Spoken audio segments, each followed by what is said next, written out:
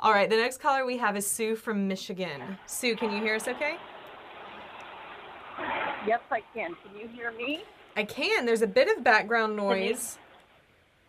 That's better. I'm running to the office. I'm at work. I'm sorry. Okay. You're fine. You're fine. Um, How can we help you today, Sue? I, uh, well, I um, have been married for five years, um, five and a half years, and uh, found out that my husband is in a, a limerent relationship back in November. Hmm. Um, and I swear, swear Marriage Helper's been my godsend through all of this. Um, Good. he's still i feel he's still in the relationship he says he's not but uh, or that he's waiting and that if it's meant to be it'll be um but he also says that about us and so um we started counseling it wasn't very good you know she suggested to me that i get a divorce so i didn't pursue that anymore Good. uh, but I've been listening to all your podcasts and all your information, and it's just been wonderful. It's really Good. gave me hope and helped, you know, get me through all of this.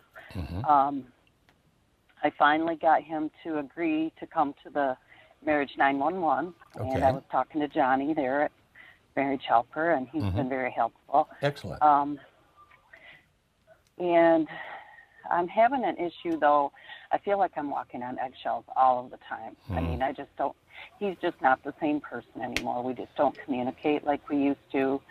Uh, he's kind of short with me. He's never had a short fuse with me before, and now I'm. You know, I understand that he's under a lot of pressure and all of that. I've been trying to practice. You know, doing my pies and uh, all of that Good. but um, I still just never know when I'm going to put him over the edge. I I have a feeling that he's getting pressured from both sides, Oh, I'm sure he is. and he won't let me see. Um, I'm sorry, he won't let me see the phone records, um, which is you know a big flag to me that he is still talking to her and doesn't want Right. to admit it.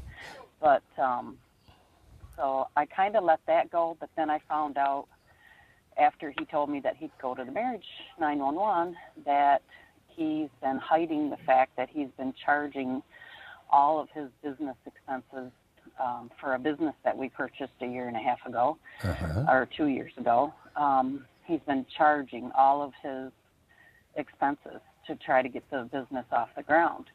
And so now I had that to deal with, thinking we're going to probably have to file bankruptcy. Um, You know, he just kept it from me and told me, well, he didn't want me to worry and he didn't want me to be hurt. Right. Um, you know, all these different excuses.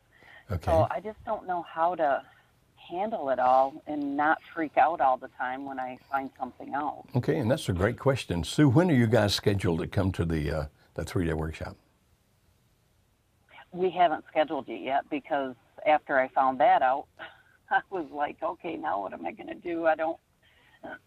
if he's he maxed out the credit cards that he had back in the fall, mm-hmm. right before I um, found out about the affair, mm-hmm. he had me sign some documents that put me on a consolidation loan that he had, and then, hmm.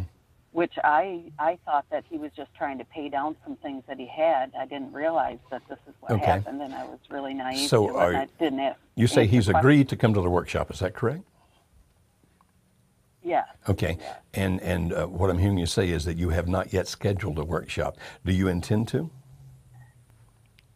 I want to really bad. I'm just afraid now because I don't know where this is going to put us with you know, this just compiled the problem with the affair. Now I got to worry about bankruptcy too. Okay, and I- I'm I understand I'm that. quite a bit. Quite a bit. What? I'm sorry. I'm older than he is. Um, Okay. I'm 55 years old. Uh, he's 12 years younger than I. Okay. And so, you know, it might not be such a devastating thing to him, but it is to me. I didn't want to have to work, you know, Right. I understand. until I die. Okay, so here's kind of the way to look at it, my friend. Here's what I'm suggesting, Sue. you can try to solve all your problems before you come to the workshop, or you can kind of just put everything on hold and say, okay, obviously we got into this over a period of time. It didn't happen overnight. And, and we're probably not going to fix it overnight either. And if we go to deal with some professionals, like not a marriage counselor that says you just need a divorce, but if you come to people like us, and for example, you've been looking at ours and you've been talking to Johnny, who's excellent, mm-hmm coming to the workshop, when people actually get their spouse to agree to the workshop, what we normally recommend is this okay, just kind of back off on things now. Don't try to fix anything, don't try to solve anything now. Because if you can get your spouse, if he or she's already agreed to come to the workshop, then come to the workshop. Let us do the things that we do there. And if those things work, and we don't, we don't say that they do it 100%. You understand? We don't lie to people. But our success rate is three out of four, which is pretty doggone good. If you can go ahead and, and yeah. come to the workshop and, and work that out, then your ability to solve the problems afterwards are a whole lot better than they are now. And so typically, here's what we suggest. Rather than trying to figure out, okay, what do we do about the potential bankruptcy now? What do we do about the, the uh, affair or whatever now? Is say, okay, if he or she's agreed to come, let's just let everything lie even for a while. I'm not going to push anything. Let's go ahead and get to the workshop so we can get the professional help that we need from people who really want to help us save the marriage. And then those issues do have to be dealt with, but we can deal with it a whole lot better then because we'll have tools then. Both of us will have tools then that we don't have now. Is this making any sense to you at all, sir?